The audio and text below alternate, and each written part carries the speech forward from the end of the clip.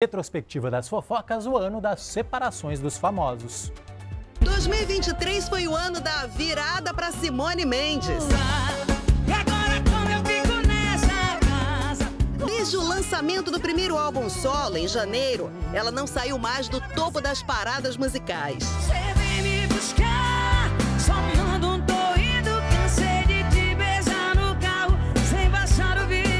Foram hits e mais hits. Todo esse sucesso tão pouco tempo depois da separação da irmã, Simária. Simone chegou a dizer que se arrepende de não ter seguido solo antes e que está muito, mas muito feliz na nova fase.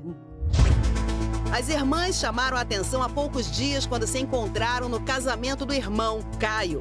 Simária bem que tentou uma aproximação, mas parece que rolou um desconforto. A gente adora um romance entre famosos, não é? Mas em 2023 veio uma avalanche de separações inesperadas.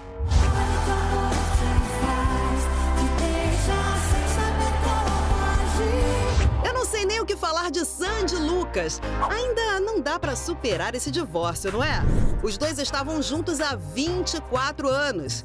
E ela já disse que não há nenhuma chance de um retorno. Cauan Raymond e Mariana Goldfarb também assinaram os papéis. Parece até que ele já está de namorada nova. É a cirurgiã dentista Luisa Watson, uma mineira, ex-miss Juiz de Fora. O namoro de quatro anos da cantora Paula Fernandes com o empresário Rony Ticionello também não resistiu.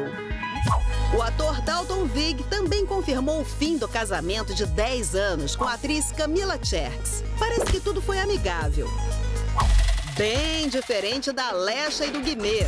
Os cantores se separaram com direito à acusação de traição e tudo. Lecha já está até de namorado novo. É o ator Ricardo Viana. Fábio Assunção e Ana Verena também não acabaram nada bem. O fim do casamento virou caso de polícia. E sabe essa rua que você está vendo? Que tá uma paz danada? Pois é, os dois brigaram bem aí. Os vizinhos ouviram pedidos de socorro. A equipe de Fábio confirmou uma discussão mais acalorada, mas negou qualquer agressão física. O Brasil parou com o desabafo de Ana Hickman, vítima de violência doméstica. Eu gritava, socorro! Chama a polícia, 190. Eu comecei a gritar mesmo, porque ele não me soltava. Em entrevista exclusiva ao Domingo Espetacular, Ana revelou que há anos vivia uma relação abusiva ao lado de Alexandre Correia. Por que você não tá se cuidando? Você tá gorda? Cuidado, tá? Ninguém vai te querer velha. O tempo tá passando. Depois de 21 anos, Suzana Werner e Júlio César não estão mais juntos. A atriz acusou o ex-jogador de abuso patrimonial, que é quando o homem limita o acesso da mulher ao dinheiro ou aos bens da família. Ah, Suzana, é por dinheiro? Não, porque o amor não é tudo. Não adianta você amar uma pessoa e ela não é, ter orgulho de você, não, não te apoiar nas coisas que você quer fazer. Para completar, há alguns dias, ela fez uma reflexão sobre traição. Quem foi traído? Não foi você. Foi ele mesmo. O cara traiu a si próprio.